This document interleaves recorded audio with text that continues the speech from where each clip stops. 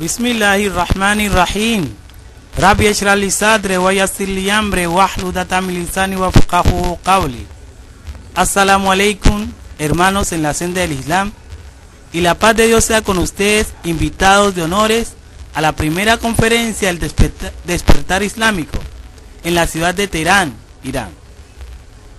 Hoy permítanme hacerles un homenaje a los héroes desconocidos por un licenciado de jurisprudencia islámica, egresado de la Universidad Huyatía de la ciudad de Qom, República Islámica de Irán. Mi ponencia el día de hoy es el matar, comprar e ignorar tácticas de opresión de los gobiernos imperialistas, sionistas y neoliberales.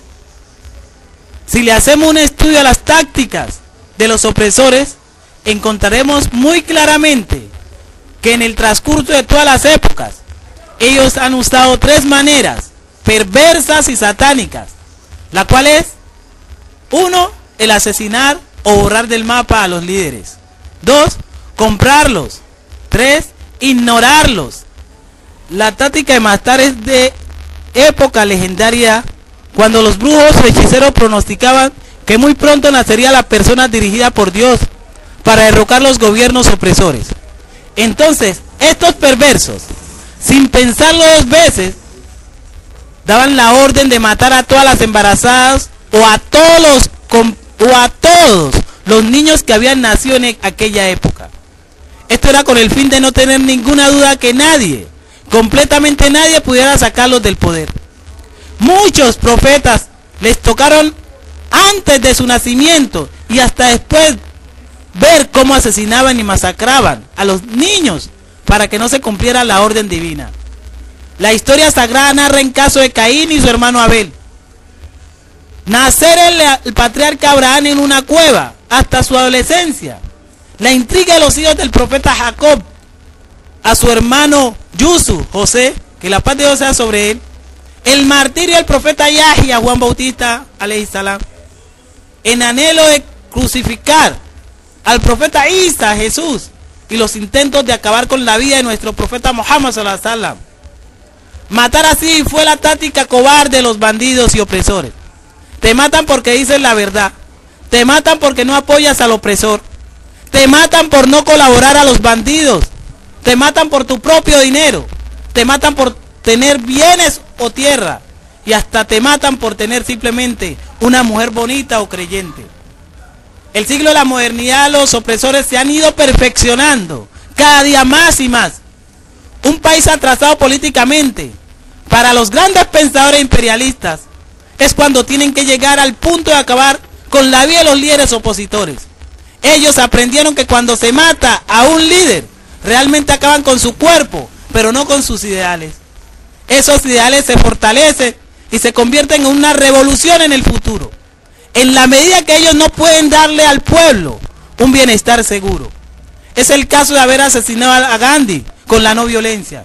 Es como inmortalizar a Zapata en México, al Che Guevara de Argentina, Salvador Allende en Chile, Gaitán y Galán en Colombia, Shahid Behesti, Morteza Mutahari en Irán, Malcolm X y Martin Luther King en Estados Unidos. Algunos de los que mencioné es posible que cuando estaban vivos no tenían tantos seguidores que cuando fueron matados o martirizados. Algunos países atrasados latinoamericanos, africanos y hasta orientales y occidentales son los que se vanaglorian y lo muestran por televisión y la prensa mundial cuando matan a uno de sus líderes que no tiene su misma ideología. Compañeros y compañeras de la mesa, invitados en el primer congreso del, del despertar islámico. Lo digo como colombiano porque soy colombiano. Pero cada uno de ustedes puede medir la táctica a nivel de opresión que tiene su gobierno. Puede ser arcaica, moderna o, neo, o neoliberal. Es decir, la política internacional que busca por todos los medios comprar a su enemigo. Es la nueva táctica, muerte en vida. Alerta. Esa táctica también existió en el tiempo de los sagrados e inmaculados profetas. A todos ellos los quisieron matar, después comprarlo y por último ignorarlos. Como ejemplo tenemos a nuestro amado profeta Muhammad que llegó a decir, aunque me pongan el sol en la mano derecha y la luna en la izquierda, no abandonaré mi mensaje, porque este viene de Dios el Omnipotente.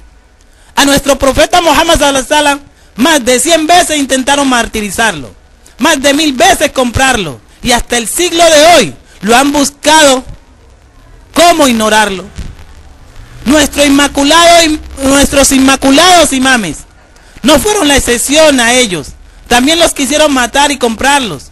Por tal motivo, nuestro padre de los mártires, el imán Hussein salam, dijo, no veo en la muerte más que prosperidad, porque vivir con el opresor es la propia calamidad. Y también dijo, lejos de nosotros está la humillación. Y nuestro imán Ali salam dijo, he triunfado por el Dios de la Kaaba a grandes sabios luchadores, líderes pensantes, defensores de los derechos humanos, líderes políticos, los han querido matar y por último comprarlos, pero, ellos han deseado la muerte.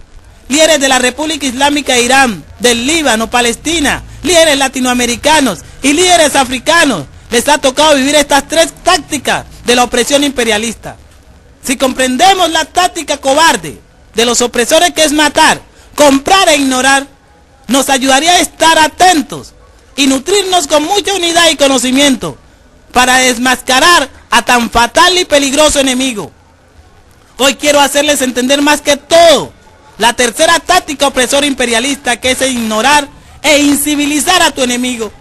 Esta táctica es el control total de los medios de comunicación que se basa en transmitir y hacer llegar a tu subconsciente lo que quiere tu enemigo frente a una sociedad y al mundo sin tener la oportunidad de escuchar ni un discurso de su contrario.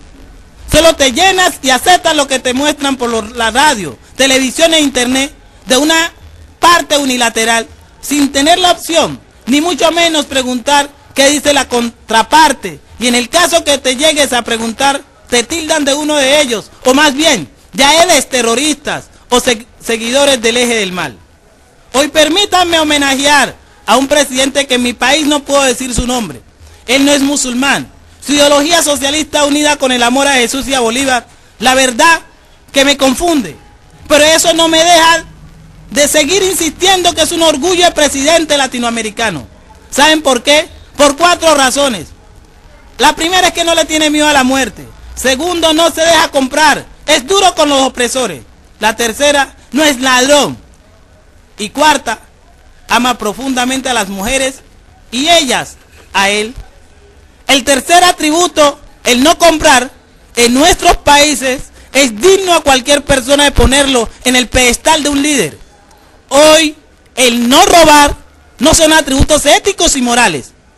No ser ladrón por la desintegración social que vive en nuestros países te convierten en un líder. Esa táctica opresora de ignorar e incivilizar a tu enemigo se vence con el conocimiento, el ignorar frente al saber. Los exhorto a los que me escuchan en esta ponencia a no tragar entero e investigar a tu oponente. Cuando se ha visto que ataqué a mi enemigo sin conocer lo que tiene y lo que piensa, esta nueva táctica nos lleva a escuchar, aunque por un día, los discursos, pensamientos y libros de tu oponente. Qué alegría me daría que reflexionemos un momento y empiecen a estudiar a tu opositor te aseguro que cuando lo ataques no tendrás arrepentimiento, porque lo hiciste a conciencia y con conocimiento. Como musulmán invito a que conozcan realmente qué, es el Islam, quién es el imán Khomeini y el Ayatollah Khamenei. E invito a que nos inviten para que en sus países, en escuelas, colegios y universidades, envíen a musulmanes con conocimiento para que les haga saber el significado del Wilayatul Faqih la supremacía del más sabio y así acabar con la táctica de ignorar e incivilizar. Permítanme hacerles un homenaje a los héroes desconocidos. Muchas gracias.